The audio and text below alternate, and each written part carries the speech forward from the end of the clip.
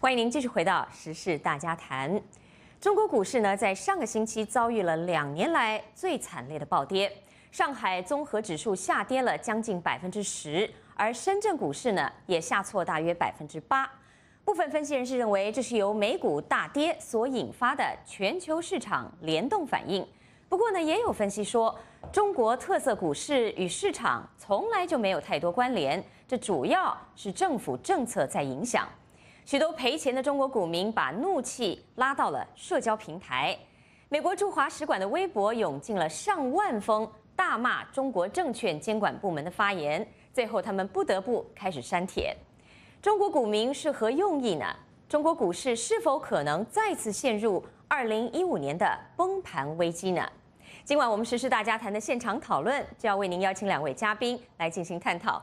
第一位在北京通过电话连线来参与节目的是中国证券期货杂志的总编辑岳福银，岳先生您好。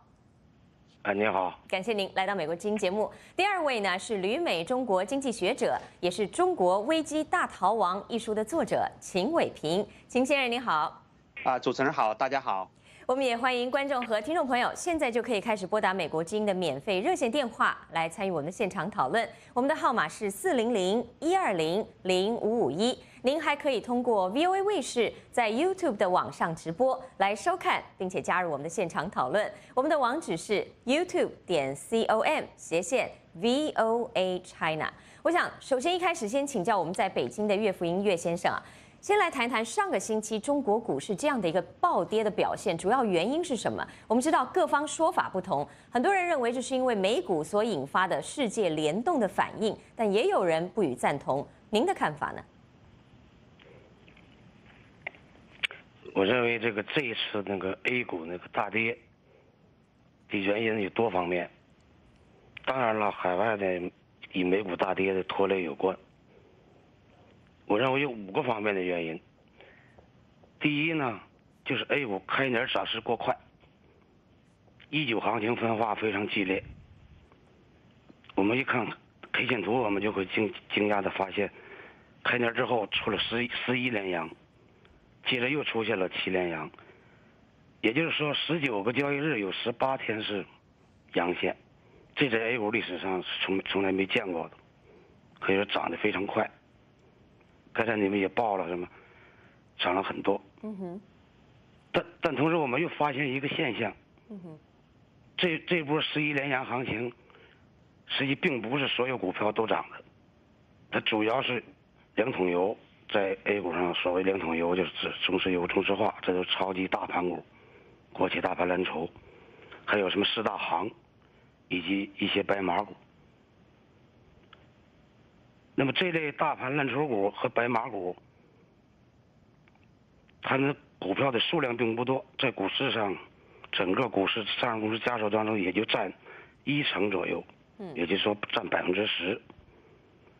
所以这轮行情只是这百分之十的股票在涨，其他百分之九十九十的股票都没有涨，嗯，都成都沦为了看客，这就是最典型的“一九行情”，就百分之十的股票上涨，百分之九十的股票不涨，这就是 A 股常有常出现的就叫“一九行情”，是，这是表现的特别明显。嗯哼。那么这这一九行情背后还说明一个信息，也就是说这个只是个指数行情，并不是全面的走高行情。那么当这个引领行情的这些大盘股啊、两桶油和四大行持续拉升没劲儿的时候，没有形成板块轮动，也就是说他们没有找到接班人，最后他们拉不动，大盘也就下来了。嗯哼。也也就是说，当初涨得太猛，肯定要引发大的下跌。这第一个原因，第二个原因是，我们还从那个这些几大蓝筹一九说起，这样引发了股市上机构的囚徒困境。我们发现这个一年以来啊，A 股先是漂亮五零行情，接着是大盘蓝筹股行情演绎的非常火爆，他们成了 A 股的核心资产。也成了交易的资金密集之地。嗯哼。是为什么 资金都跑到这些大股里去呢？因为我们发现，A 股去年有一个大的变化，就资金面方面有个大的变化，这就是基金非常火爆，基金发行特别火爆。我们注意到去年年末发了几只基金，几百亿规模的基金，一天就抢光了。嗯，所以当时在 A 股上买基金就成为一种爆抢的一个，出现这种现象。是。那么基金规模大了。基金选择什么样的股啊？他肯定得能装下它，也就要买些大盘股。而基基金大基金不是一家两家，很多基金都在规模扩大，所以他们不约而同的都得找流通性好的那些股票，就是自己自己能能买进去，能卖出来。嗯哼，好的，岳先生，是我们因为呃，我们想争取多听一听我们所有的这个嘉宾的反应啊。能不能请您稍后把另外两点再来告诉我们？我们先来听听一听这个秦伟平先生有什么样的看法。我们知道秦先生也一直在关注，是谢谢您。我们知道秦先生您也在关注这个中国金融市场的一些表现呢。您在啊这个去年也发表了这本这个《中国危机大逃亡》这本新书里面也有很深刻的剖析，跟我们谈一谈对于上个星期的中国股市表现，您的看法又是如何呢？呃，大家好，我觉得上个星期啊 A 股随着呃美股的暴跌而暴跌这个现象呢。我认为是非常正常的。首先，最基本一点，呃，中国经济的一个基本面是比较糟糕的。除了官方公布的那个 GDP 增长率到百分之六点九以外，啊，这个我相信我们中国的投资人、中国的股民也不太相信这个数据。嗯。实际上，A 股这些上市公司的业绩它得不到呃得不到支撑，啊，股票市场没有好的表现，这是非常正常的。那其次一个，我认为大家忽视了一个重要的原因。我记得是在二零一八年，应该是一月二十四号，呃，停牌。很久很久的那个乐视复牌，然后复牌之后呢，它连续跌了十几天，呃，这个是对中国呃股市的这个打击其实很大的，大概有光乐视这个这只股票大概有十几万，所以有十八万股民去买了个股票，损失非常非常惨重，对大家的这种心理影响应该非常大。加上现在有啊临近春节过年了，啊很多可能有些股民想落袋为安，等于说在美股在上个星期二、上个星期一二月五号暴跌之前。一个星期，其实整个 A 股呢就很明显的表现出市场是呃很很弱的这种趋势，已经开始在跌了，只是说没有后面的暴跌。那说明什么？说明这些投资者啊，这些这些股市的投资人，他们心里是非常非常脆弱的啊，很没有安全感。那加上啊，二月五号啊，黑色星期一美股，您指的是中国的投资人吗？对对，中国投资人对，就是美股这个暴跌之后，他们一下子恐慌情绪就蔓延，所以跌的发，大家发现比美国股市跌的还要惨。啊，从三千四百多点跌到三千一百点，就跌跌整体跌幅超过百分之十啊！那但很多人都是，啊，损失非常非常惨重。那我到现在为止，我都觉得说这只是刚刚开始，后面可能情况会更加糟糕。嗯。呃，我在去年这本书里面有预测过，呃，我们待会儿可以慢慢再一起来分析下这个股市。总体来说。啊，不是很乐观，谢谢。是，所以可以体会到，像秦先生还有刚刚岳先生给我们的分析，很多的中国股民、中国的投资人，其实心生不满的原因就在于，刚刚我们提到了这个受到了美国股市确实也受到了一些影响和波及，是因为他们的原因。但是很多人说，哎，美国华尔街股市处于牛市已经有八年多的时间了，在大涨的时候，中国股市没有跟着大涨，他们没有赚到钱。但是现在美国股市跌了，中国股市却大跌特跌，让他们不仅没赚到钱，甚至还大赔了。那么，面对中国股民这样的一个愤怒和不满，我想请教秦伟平先生，合理吗？他们这样的一个反应？啊，我觉得，呃，因为中国的投资环境和美国投资环境不一样，那美国的那个呃证券市场的一个监管是非常非常严格，那基本上呢，啊，他们证券市场的表现跟整个经济的表现是相对比较一致的，当然还有一些资金面的情况。那中国股市呢，呃，特别中国的股民在二零一五年达到一个高峰，整个峰值差不多上亿的。呃，股民开户，那整整个中国股市，它那种投机痕迹非常非常明显，几乎是可能百分之九十的股市投资人都是抱着一种投机的心态，他们应该非常清楚说，呃，中国的股市的表现和中国经济的表现是脱钩的，那这种炒作啊，短期行为非常非常严重，所以，呃，我相信他们也有这种想法吧，就是你不能说，你股市涨的时候你跟着去赚钱，你就很开心，然后现在。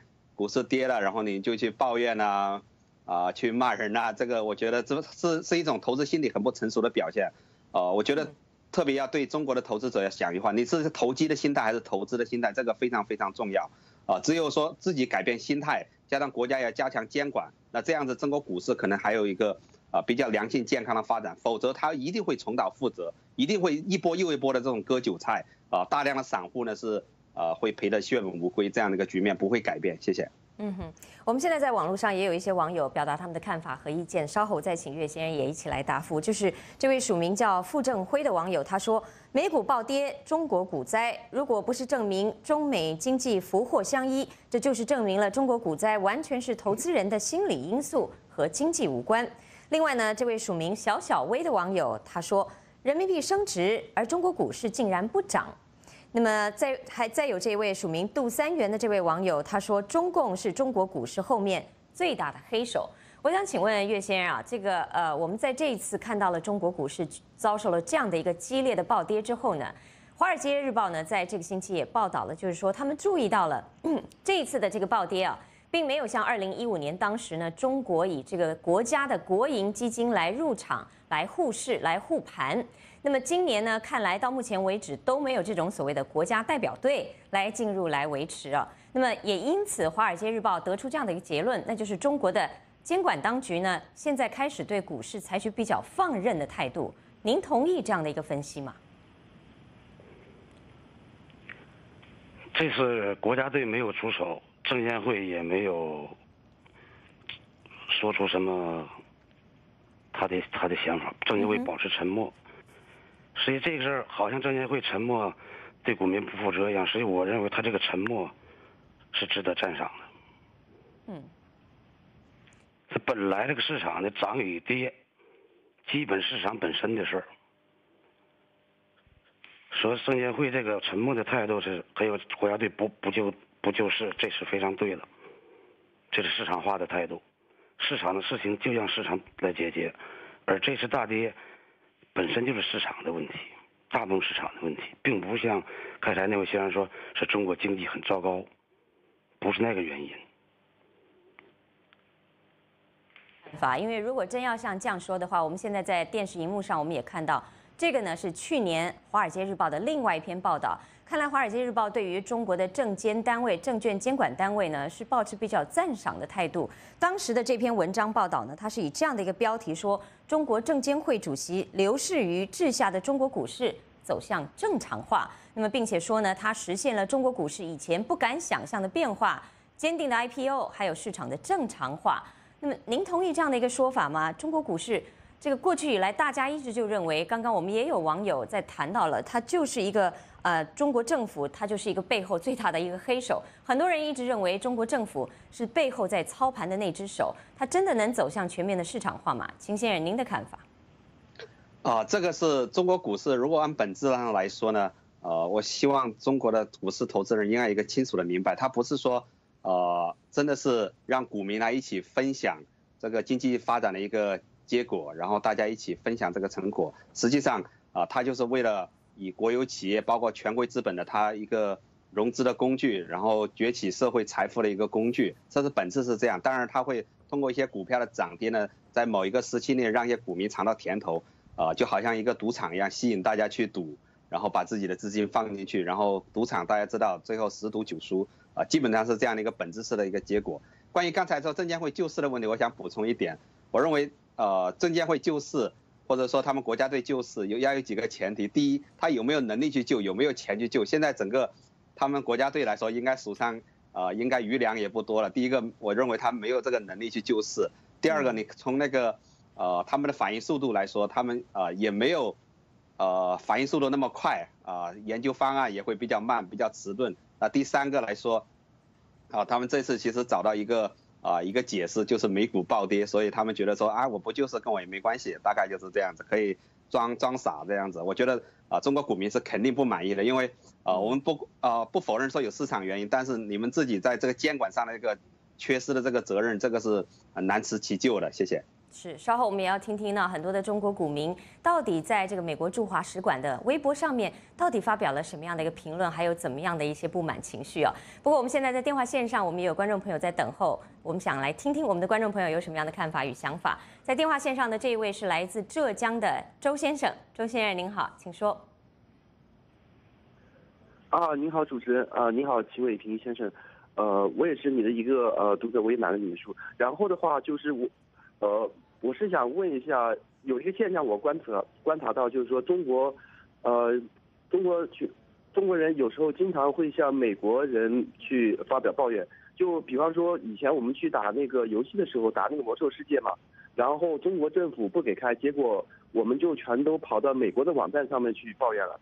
呃，我想问一下，呃，专家。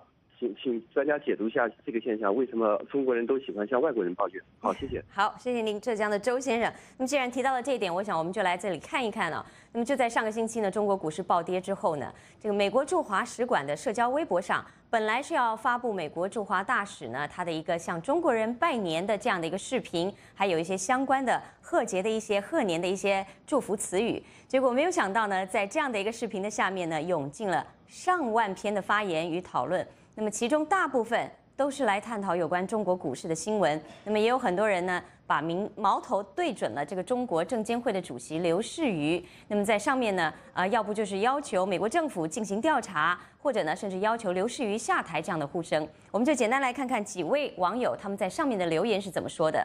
这位网友他说：“由于我们的官网平台禁言，所以借用平台呼吁，强烈要求刘士余下台。两年五次股灾，残害上亿股民。”另外，这位网友他说：“请你们美国的记者去中国的证监会采访一下刘士余，为什么中国股市这么不堪一击？”还有这位说：“作为国家行政机关的证监会发布会，对有记者询问今日大跌原因，竟然置之不理，装聋作哑，那要你这个部门何用？股市稍有起色，就恨不得一个小时一次发布会出来给自己歌功颂德。临近年关，有多少家庭挥泪过节？多少股民是生不如死？”最后还有，我觉得这个可能是比较有意思的一篇留言了。他说，他想请问这个大使先生，悄悄的问您一声，那刘士余是不是你们安插在中国政府里的卧底啊？那家伙成功的将上亿中国公民推到了党和政府的对立面，做了你们想干又干不成的事，大功一件呐！我想先请教我们在北京的岳先生，岳先生，我不知道您是不是读到了这个相关的这些网友的这些评论。您能不能理解这些 股民他们背后的无奈与心酸？因为他们发现，呃，这个证监会的这个官网上是不允许发表任何评论或提问的。那么有记者在提问到对于上周暴跌的情况时，证监会的相关主管却离席而不予不予答复。所以呢，在这样种种的一个情况下，您对于股民、对于投资人发出这样的呼声，您能够体会吗？那么您觉得在中国作为一个所谓的散户投资人，他们到底面临的是什么样的风险？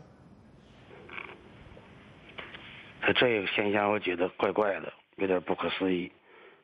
你中国的 A 股出现了问题暴跌了，你你向美国大使馆问什么？他们也不是这方面专家，所以这事儿有点意思。但是这可能大部分充满着一些发泄吧，这还是个发泄渠道问题，可能渠道有有些不畅。就也可以理解他们的无奈，因为这么多年来也没怎么赚着钱。但问题是，这赚钱赚不钱得两方面看。一是谁让你挣不着钱的？如果是你自己没赚着的，那只能是认赌服输。那么作为散户，在 A 股的市场，甚至在全全世界任何一个市场来讲，散户都是弱势者。首先在信息研判呐、公司调研呐、资金量大小方面方面等等，散户都是弱者。也就是说，在股票市场上，散户天生的就是韭菜，他是不，他是很难赚钱的。那么在中国 A 股有这么样一个呃算法，叫盈亏算法，流行的一个叫一赚二平七亏。所以说，你说散户风险有多大，你就能看出来了。我们无法具体量它的体量三维，但是。七亏，也就百分之七十人的亏，你说这个散户风险大不大？说这可能和美股也有点相近之处。我我不知道有没有统计，美国美国的普通民众投资者、股市投资者有多少是自己亲自操盘的？有多少是通过专家理财、委托基金来投资的？这我不知道，但如果他们也是自己独立的单打独斗，可能和和 A 股那些散户也差不多。所以这就说明一个问题，所以投资者最好别单打独斗。像基金，它不就是投资者小基金的众筹吗？你交给基金，它不就变成大资金了吗？在信息流方面，在调调研能力方面，不也就强起来了吗？我说认为这可能是为了投资一个方向。您觉得中国证券监管部门在各个方面上是不是还有做的不够的地方？他肯定有不够的地方，否则大伙能这么不满意吗？否则股为啥 A 股老趴在这些不动？肯定跟监管有关系。我认为过去他们很着重于管，就是爱伸手。最近这个半年有点变化，他们着重于监督，也就是制定规则，坚持法治化，这个有点进步。那么中国 A 股监监管产生他们在有些方面和投资者。是是不一致的，在一些那个对有些事情的认认同度上，他有他的看法，投资者有可能不太认同他们的看法。比如先前的 IPO 速度过快啊，还有那个非流动股与流通股的股份比例失衡，导致解禁股集中集中解禁这这些，还有上市公司构成都是老气横秋的传统产业公司比重大。新兴产业的高科技公司的比重相对比较小，这些都是呃管管理层和普普通投资者或者是 A 股投资者之间达不成一致的地方。您的看法呢？嗯，是达不成一致就很难有一个共同的好的，谢谢您。我们稍后再请您跟我们答复。秦伟平先生，您的看法？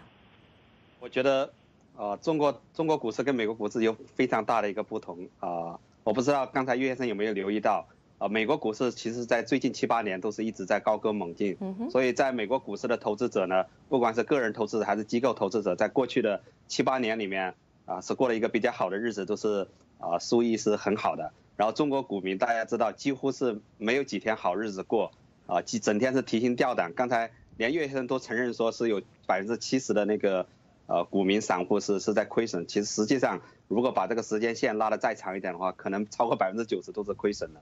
啊，从这一点上来说，我觉得中国股民应该对中国股市有个清醒的认识。它不光说是整个监管的问题，是整个它从开始设计上都都存在问题。包括说，啊，整个 IPO 是有些优秀的企业，我们知道成为上市企业，但是很多中国呃证券市场他们一些上市企业作假的问题，从 IPO 开始都可能就开始作假，然后后面监管不严的问题，就好像啊最近很多股民损失惨重的乐视，我们我们再拿乐视再来做一个案例来分析一下。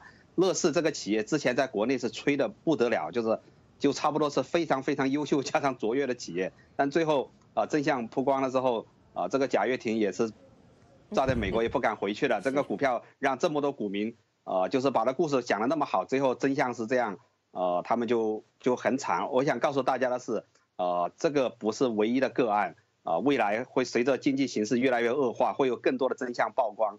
呃我对。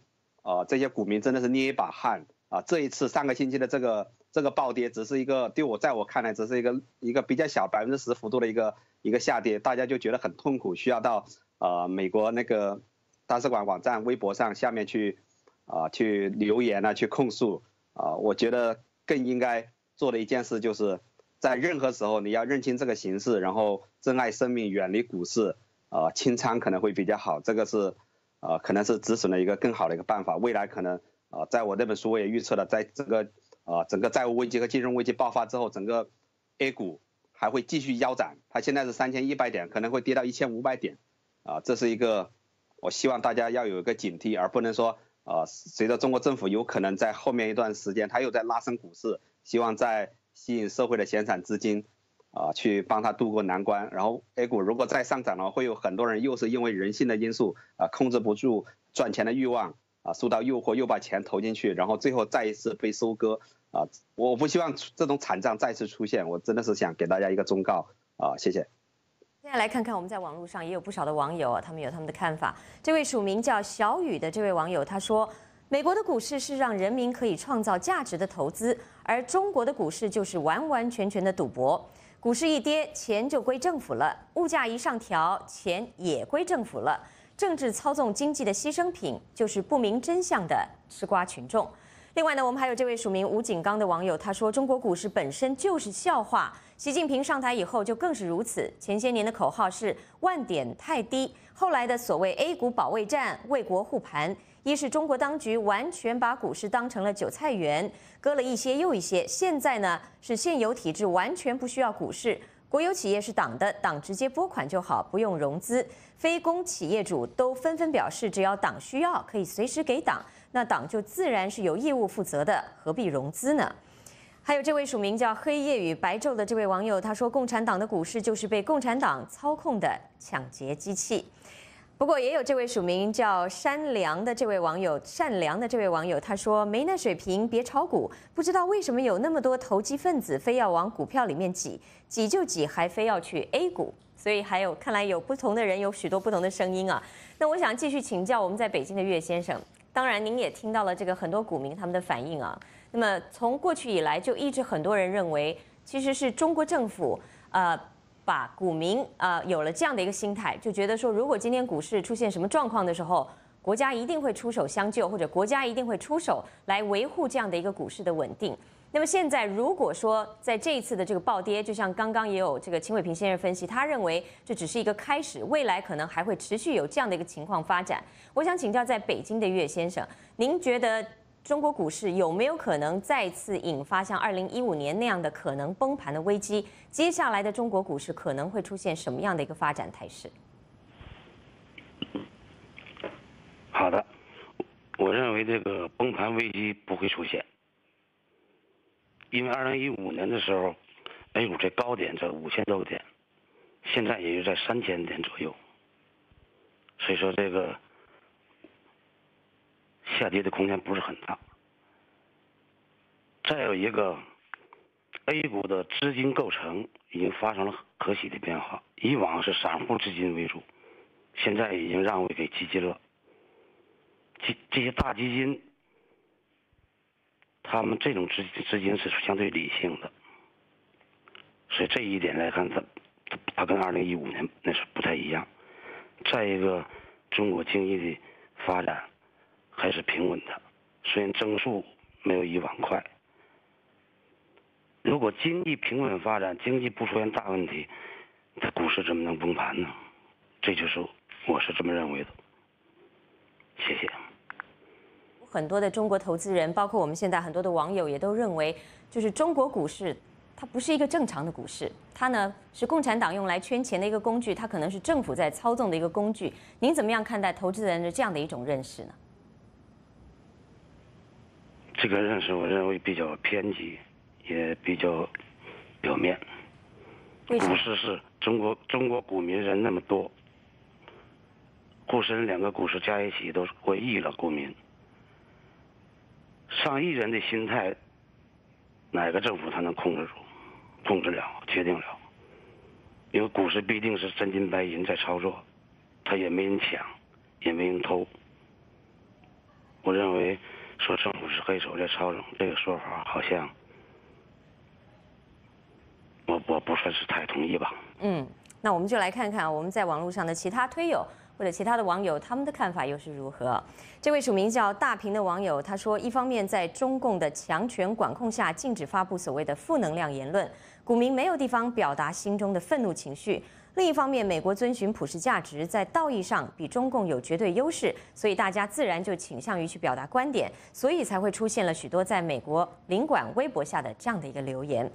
那么，另外这位署名 W 二十一的网友他说，指数就是拉升的。你看成交一个多月都是出比进的多，而且多一倍不止。有两个原因：一是机构炒作，二是前面的国家队互相扯淡，大部分想逃跑，但是官府的压力要唱红，所以呢跌起来就像山洪。这位署名叫王军的网友他说，很多中国人是很无奈的，手里有点钱想要保值，除了股市就是楼市了。所以，确确实实，我们也看到了很多网民，他们有不同的看法与意见呢。我们再来听听，在电话线上这位来自河北的李先生有什么样的看法与想法。李先生您好，请说。你好，你好，我的观点是呢，中国的资本市场呢还处在一个幼年的阶段，中国经济呢还处在一个资本的原始积累的阶段，所以说呢，应该从经济的角度，不要从政治的角度考虑这个问题。美国的股市不是也曾经经历过这个阶段吗？谢谢，再见。好，谢谢您，河北的李先生。我想请秦伟平先生来谈谈您的看法。啊，中国现在股市这个状况，呃，我觉得真的是大家应该警惕一下，提醒一下，今年的年份是二零一八年。我们首先看这个股市的涨跌，还要看这个大环境。除了中国经济基本面以外，呃，我们在最近的几十年里有有几次大的一个金融危机。最早的一次股市的暴跌事件是，一九八七年，应该是十月十九日，美国啊开始的这个黑色星期，整个啊以美国为首的这个全球股市。呃，蒸发了大概一万多亿美金，是到现在为止是最厉害的一个，呃，股市暴跌事件。那这是呃拉响了一个整个全球的经济衰退。那大概十年之后，九七年、九八年又是呃亚洲的一个金融危机。然后在二零零七、零八年是美国为首的次贷危机，也是波及全球。那现在差不多又是十年周期到了二零一八年，我认为说二零一八年全球性的这种金融危机爆发的可能性还是呃存在有比较大的一个概率。那其中一个。呃，比较大的引爆点，我认为就是中国的一个经济。那中国经济可能很多人有不同的一个看法，包括岳先生可能认为中国经济形势还是比较好。那我在我看来呢，那中国的债务危机、金融危机可能随时都会爆发。那根据现在二零一七年得到的年底的一个最新的经济数据，中国的经呃债务总额呢已经超过二百五十万亿，超过同期 GDP 的百分之三百一十七这样子。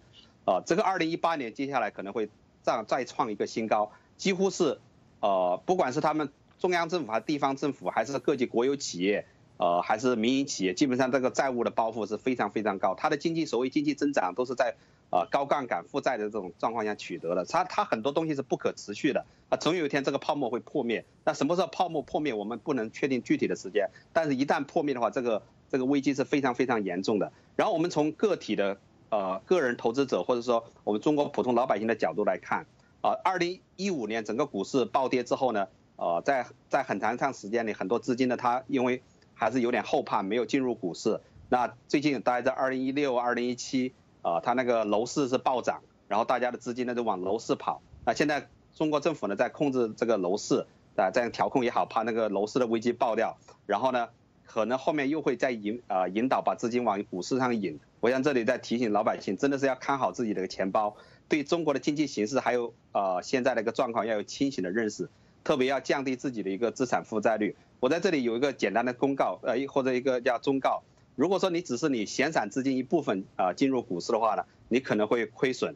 然后你你把你全部身家压进去，你可能会呃血本无归。然后你如果还去负债去炒股，现在有些人是负债呃看好股市去炒股的话，你可能会死无葬身之地。我真的是一个呃一个良心忠告，谢谢。是我们现在有很多的网友不断的涌入，想要表达他们的看法与意见，所以可以想见呢。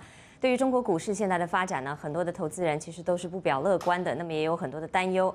我们在这个网络上呢，这位署名呢叫 Murph 徐的这位网友，他说中国股市已经被政府弄得一塌糊涂，国家队也不想淌这浑水了。那么另外这位署名叫 Stone In 的这位网友，他说中国股市根本就是权贵坐庄的赌场，进场的散户呢就是肥猪。还有这位署名一九四五民国这位网友，他说中共在大陆搞的这种资本市场，从来都是不按常理出牌，所有的出牌规则都是由中共自己随心所欲去决定，为共产党组织圈钱，是他们的利益集团筹钱的工具。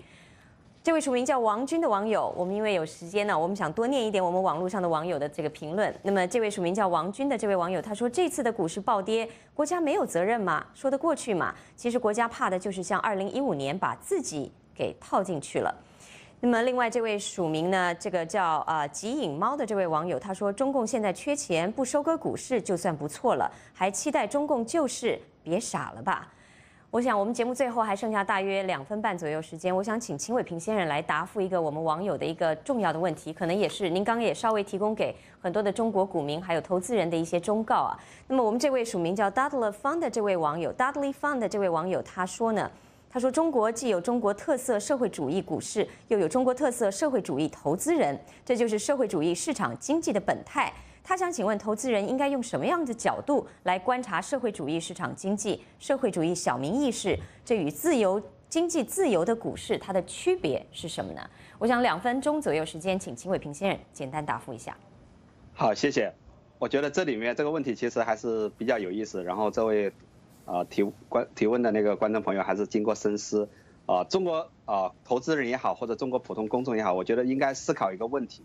啊，当我们辛辛苦苦赚钱了之后，我们希望通过在资本市场去投资，然后获得一些经济收益的时候，你要考考虑清楚这个风险，你清不清楚这个游戏规则？你如果对它的本质没有看清楚的话呢，你可不可以不要一次又一次的去上当受骗？或者说一次又一次的这种满伤痕累累这样子，啊，应该要长一些记性。啊，他们中国现在这个股市本质来说，它就是一个啊，为他们国有企业为主，包括一些权贵呃，来来洗劫财富的这样一个工具。它离真正的那个呃资本市场啊，然后为社会创造更好的价值啊，然后让整个社会大众来享受它的一个经济增长的一个成果，我认为相去甚远。